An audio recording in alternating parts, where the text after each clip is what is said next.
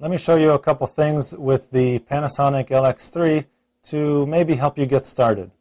First, here is your hot shoe, and this can be used to attach an external flash. The built-in flash, if I just pop that by moving this switch over, as you can see, is very, very small and therefore not very powerful. This is probably good for about 10 feet.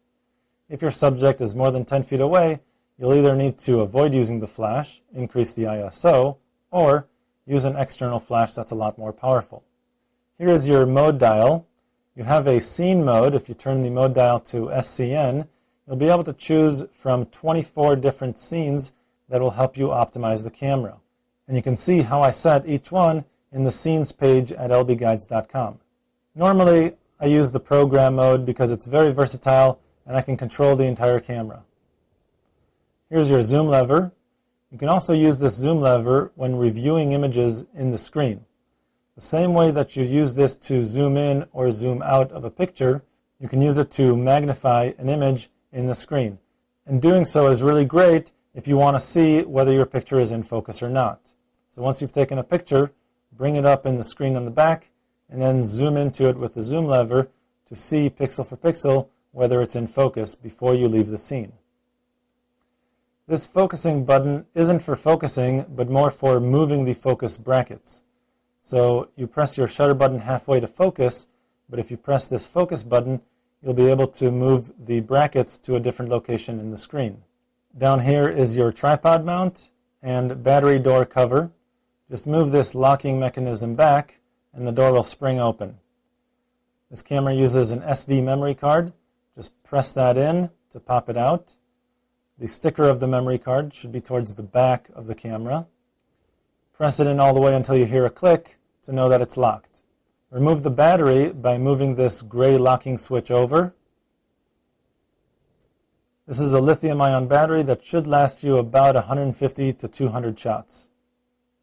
Press it in all the way until the gray locking mechanism moves back into place. Close the door and move the switch over. Lastly, here you have your aspect ratio switch and your focusing switch. If you want to shoot a macro picture or use the manual focus option, you can move this switch. And if you want to use a different aspect ratio, you can use this switch. Now what this means is if you choose the 3 by 2 aspect ratio, it means that you're taking a picture that is slightly cropped at the top and the bottom. It's not going to be the full resolution of the CCD, but if you're printing 4 by 6 you're going to have to crop the top and the bottom anyway, so this is not a problem. If your pictures are intended for viewing on a widescreen TV, like in a slideshow presentation, for example, then you can choose the 16 by 9 aspect ratio. Because I don't know what I'm going to do with my pictures, I may want to print some 4 by 6 I may want to display some in a widescreen TV. I'm going to go with the 4 by 3 aspect ratio and then just crop the images in the computer depending on what I do with them. This will give me the highest resolution the camera can produce, 10 megapixels, and I can choose to crop the image depending on its intended purpose. Turn the camera on with this switch. And most of the time, for any regular picture, I just stick to the program mode. It gives me the full flexibility of the camera. I'll go over the menu briefly. Just press the Set button right here to access the main menu. And there are a lot of features here, most of which that relate to your image quality can actually be accessed using the Quick Menu button right here. So I'm not going to change anything in the menu just yet, but I wanted to show you how you can navigate this menu. First, you have your navigation buttons right here. Left, right, up, and down. You can always move the highlighted portion using these navigation buttons. You also have pages for each menu. This menu happens to have five pages, and I can quickly move between the pages by using my zoom lever. If I pull the lever to the right, I'll move down to page 2, page 3, and so on. If I push it to the left, I'll go back to page 3, then page 2. In order to select an item, I actually have to press the right arrow button, not the set button. So if I want to set the ISO limit, for example, I'll just press the right navigation button and then go down to set a maximum of 800 ISO, for example. Then press set. Then I can just press set again to escape from the menu. The one thing I'd like to change in this menu is actually located in the Setup tab. So I'll move to the left, go down to the Setup tab, and then move over to the right. I'll go down to Beep.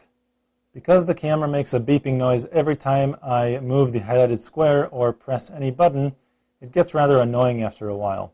So what I like doing is quieting this beep. Press the right navigation button, and again, to access the beep level, go up to mute and press set. Now the downside of this is that also the focusing beeps are turned off, meaning usually when I press the shutter button halfway, if the camera is able to lock focus, it gives me a double beep.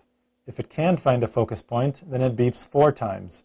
And that's a nice audible way of letting me know whether the camera is in focus or not. However, I can see in the display that my focusing square and focusing dot have turned green if the camera is locked focus. The focusing brackets are red if the camera was not able to find focus. So that's good enough in this case. Go ahead and press set to escape the menu and press set again to get out of the main menu. Up here you have the quick menu. Press it and hold it for just a second until the quick menu comes up. And here you actually have access to most of the things you need when you're taking pictures. Here's white balance, for example. If I move over, here's ISO. And I can just move down to ISO 80, which I normally use in daylight situations. Go back to white balance and move that down to daylight. I'll move over one more just to make you aware of the focusing options you have here. Normally I use the standard area focusing option. If you want, you can have a spot focusing option to choose a smaller focusing point. There's also face detection and autofocus tracking, which allows you to lock focus using the AF lock button right here, and the focus will remain locked on the target. Usually I don't use any of these. I'll stick to the regular area focus, press the quick menu button or set to escape this menu. And you can see I have brackets in the center indicating my focus point. And basically to take a standard picture, I'll just position the focus point over my subject, press the shutter button halfway, wait for the camera to find and lock that focus point, recompose the image, and press the shutter button the rest of the way to take the picture. To find out much more about digital photography and your digital camera, go to lbguides.com.